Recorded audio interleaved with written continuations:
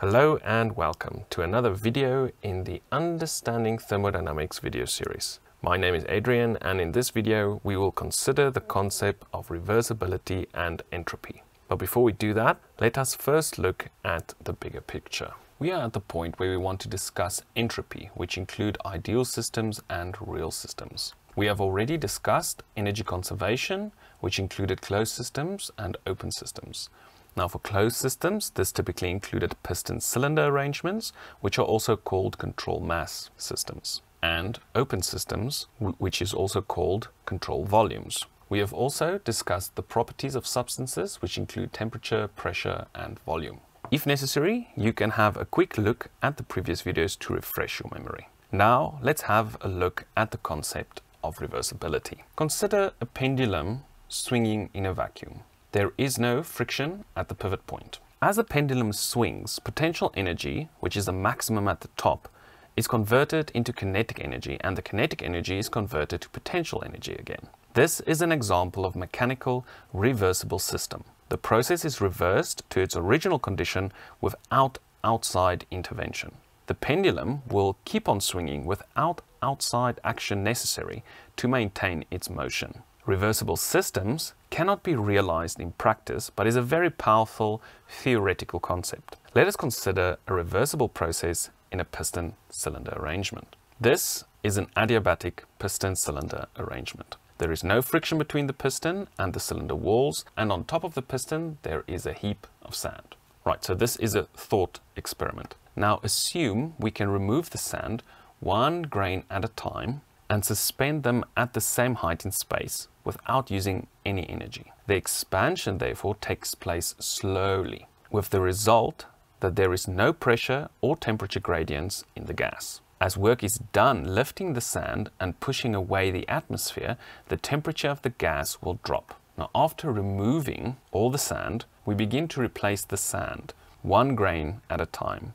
And when we are finished, the temperature and pressure will again be at the same values as it was in the beginning.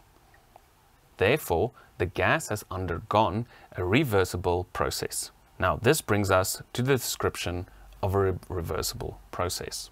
A reversible process is one carried out in infinitesimally small steps.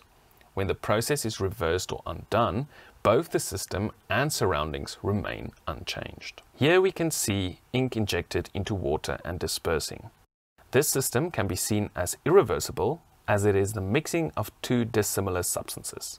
The system cannot be brought back to its initial state without external influences. If you burst a balloon with air in it, a noise is heard due to the pressure gradient between the air in the balloon and the ambient air. That is why a reversible process takes place very slowly, in very small steps, to allow everything to be almost in equilibrium. We talk about a quasi-equilibrium process, which is in the state of equilibrium, there is no driving force for change and the system is stationary. Understanding reversibility, we can now explain the concept of entropy. Entropy gives an indication of disorder on a molecular level. At zero Kelvin, molecules have no kinetic energy and therefore does not move. As there is no disorder, the entropy of a perfect crystal at zero Kelvin is zero.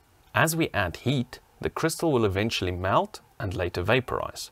It is clear as we add heat that the entropy increases. This brings us to the definition of entropy. The symbol for entropy is S. In a reversible process, the change in entropy is equal to the amount of heat added divided by the temperature. Note that for a reversible process, there is no pressure gradients and therefore no turbulence. There is no temperature gradients, there is no friction, and no mixing of dissimilar substances takes place. Now let us illustrate the calculation of entropy. Consider one kilogram of saturated liquid water in a frictionless piston being evaporated at constant pressure in a quasi-equilibrium process to a saturated vapor by the addition of heat. We can calculate the amount of heat using the first law. As this is a constant pressure process, the work done by the evaporating water can be calculated using the saturated pressure multiplied by the difference in specific volume. The heat necessary to evaporate the water is calculated to be 2258 kilojoules per kilogram. The temperature of the evaporating water will remain constant at 99.61 degrees Celsius. Therefore, the definition of entropy becomes the change in entropy is equal to the heat added to the system divided by the saturation temperature. And we can calculate the change in entropy as 6.057 kilojoules per kilogram Kelvin. So in summary, entropy is an indication of molecular disorder. Entropy increases with the addition of heat. For a reversible process, the change in entropy can be calculated as the change in entropy is equal to the heat added to the system divided by the temperature. Thank you very much for watching. The course notes, which these videos are based on, is available on my blog, adriaansblog.com. I'm also on Twitter. If you want to connect with me and ask any questions, you're more than welcome to do so. See you in the next video. Bye.